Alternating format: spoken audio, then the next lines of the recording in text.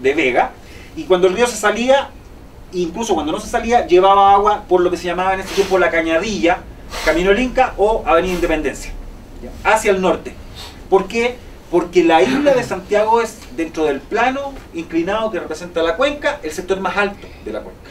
Ustedes para cualquier parte que caminan saliendo del centro del casco histórico van bajando físicamente, salvo que obviamente caminan hacia Providencia Las Condes, que ahí se están subiendo.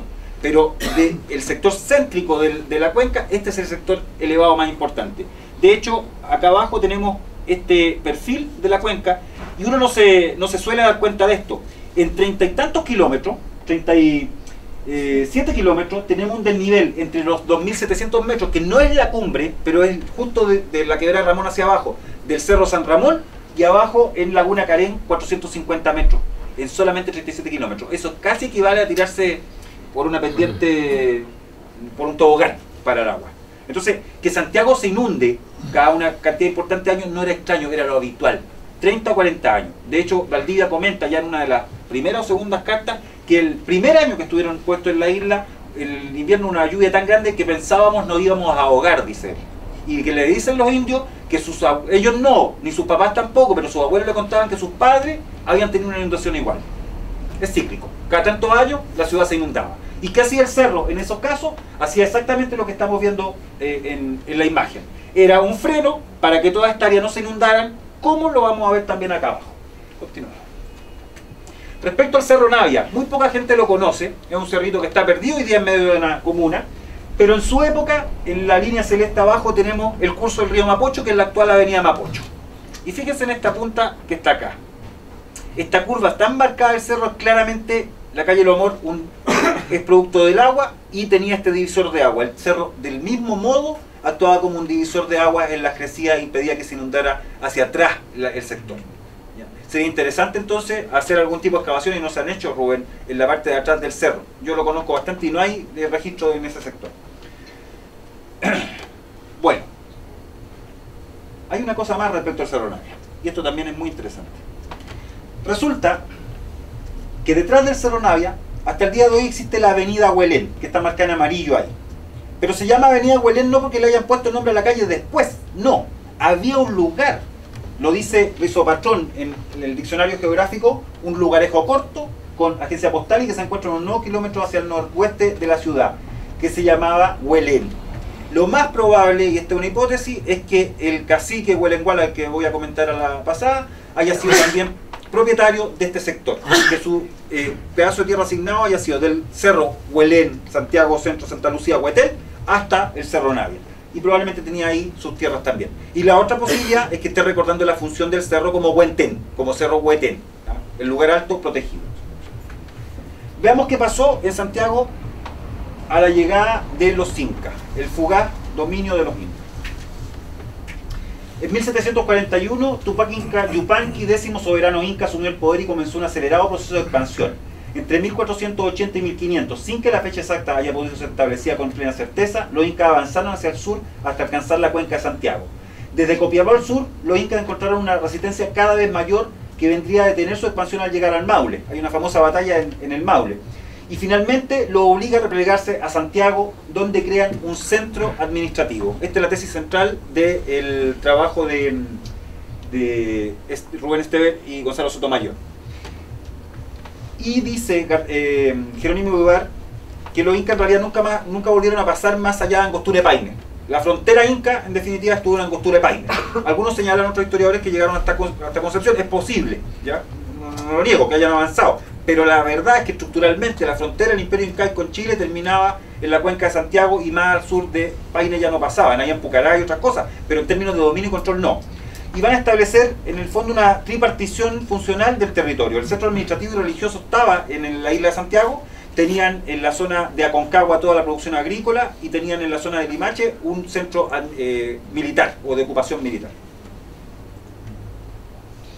Ahí hay una cronología que les permite darse cuenta que de 1471 arriba hasta 1500 más o menos a la mitad, al medio abajo, es toda la época de penetración y eh, de lucha en el fondo por conquistar el territorio y la consolidación del poder solo se produce entre 1500 y 1540. Es fugaz el dominio del imperio en el territorio, no es muy rápido. Y hay que ver cuánto hicieron en ese poco tiempo que estuvieron, porque dejaron pucaras por todas partes, hitos por todas partes, incluso algunas toponimias, mitimares que trajeron, gente que trajeron y pusieron acá, se quedó esa gente después, etc.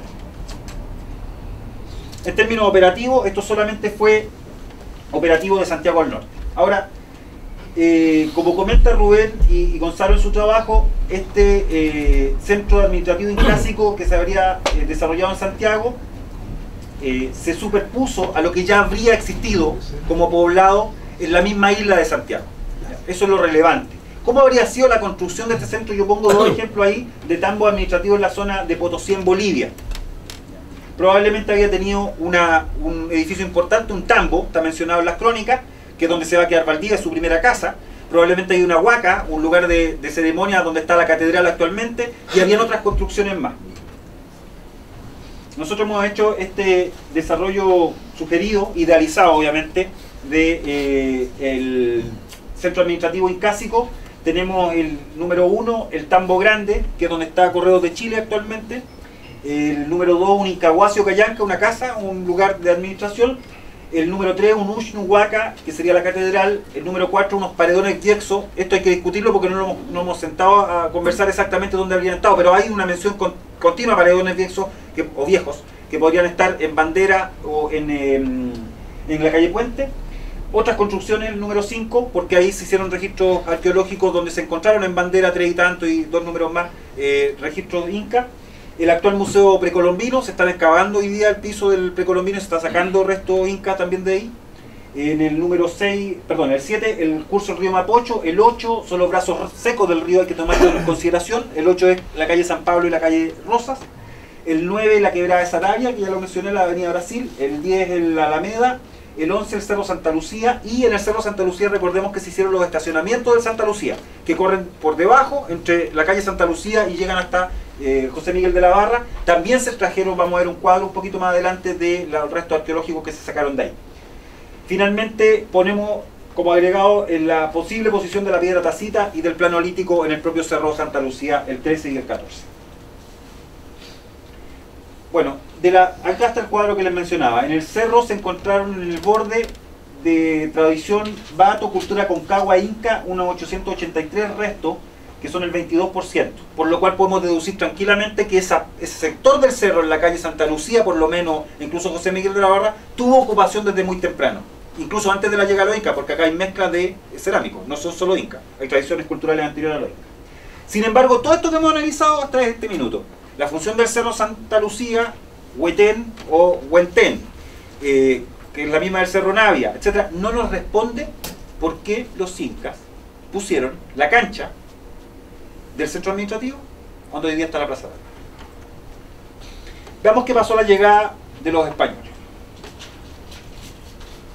La guerra civil entre Huáscar y Atahualpa, la desastrosa expedición de Diego Almagro, la guerra civil que se inició a la partida de Almagro a Perú y la llegada cuatro años después de Pedro de Valdivia acabaron con el poder de los incas en Chile. Sin embargo, sus conocimientos e influencias seguirían secretamente vigentes en la orientación y el trazado de la capital mucho tiempo después de que sus recuerdos se transformaran en historia. A su salida de Chile, lo menciona un historiador, Almagro dejó tras de sí una sociedad descabezada y la autoridad de los incas fatalmente minada. También dejó destruida la posibilidad de un futuro entendimiento entre peninsulares y nativos. Este fue el legado que encontró Pedro Valdivia cuando entró a conquistar el país. El 24 de octubre de 1540, encontrándose en el valle de Copiapó, Valdivia llamó al escribano del rey que lo acompañaba y tomó posesión en nombre de su majestad del territorio de Chile. Esta toma de posesión es relevante para comprender las acciones de Valdivia de Copiapó en adelante y en términos jurídicos estrictos implica que él ya se encontraba actuando en el país como representante del rey, es decir, frente a sus, a sus nuevos súbditos indígenas. No podía actuar impunemente. Valdivia se cuidó mucho desde que toma posesión en adelante, incluso antes, en actuar correctamente en cada lugar en que se encontró respecto a los derechos de los indígenas. No significa que no lo hizo la guerra ni los mató. No, no tiene que ver con eso. Tiene que ver con cómo operaba la lógica de toma de posesión del territorio y en particular qué podía tomar Pedro Valdivia en, su momento, en un momento determinado y qué no podía tomar. Las ordenanzas del rey respecto a estos súbditos, que eran minusvarios, así se consideraban que eran los indígenas, le impedía a los conquistadores apropiarse por la fuerza, sin el consentimiento de, de terrenos que fueran propiedad indígena no podían llegar y tomarlo. ¿Qué podía tomar Valdivia a la llegada sin pedirle permiso a nadie? Lo que le pertenecía a los incas. porque como los incas ya lo habían conquistado y era propiedad del imperio inca del Inca mismo, y como Valdivia o los españoles habían derrotado al imperio inca, entonces eso pasaba a ser posesión del rey. Y eso sí tenía posibilidad de tomarlo sin consultarle a nadie porque eso le pertenecía por derecho propio al rey por conquista. ¿Se entiende? Bien. Valdivia había viajado acompañado de al menos 21 soldados que habían participado en la expedición de Almagro, entre ellos nada menos que su maese campo Pero Gómez de Don Benito, que va a aparecer mencionado después. Pero Gómez de Don Benito además estaba casado con Inca, eso es bien importante. Indudablemente, ellos lo habían informado de que el Mapocho era el mejor lugar disponible para fundar la capital de su gobernación, ya que allí se encontraba un centro administrativo incásico. El propio Almagro lo habría reconocido en Perú y sin duda el cacique Atepudo también debió confirmárselo al recibirlo al Vigo. Además, gracias a Jerónimo Vivar, sabemos que esa elección ya la había hecho mucho antes de llegar a Cuenca Santiago. Él, con toda su gente, se iba a poblar un pueblo como el del Cusco, a las riberas del río nombrado Mapocho. Así que ya sabía dónde venía. Pero lo curioso de todo esto es que cuando llega Valdivia, no se viene directo a instalar a la isla del Mapocho. Se queda al frente, en la chimba, o lo que llamamos la chimba después, al lado del Cerro Blanco, que lo tenemos esta imagen antigua ahí, donde se alcanza a apreciar arriba la ermita. En el Cerro Blanco Valdivia piensa fundar la ciudad, al norte del río, como la ordenanza en genérico lo establecían, no al sur, y en un cerro donde sube, donde se hace la primera misa, se hizo una misa Navidad ahí, donde se instala la, primera capilla, la primera iglesia de Chile, que es la ermita de Montserrat, dedicada a la Virgen de Montserrat, la Virgen Negra que traía eh, su compañera, Inés de Suárez, devota de la Virgen de Montserrat, hasta el día de hoy está ahí.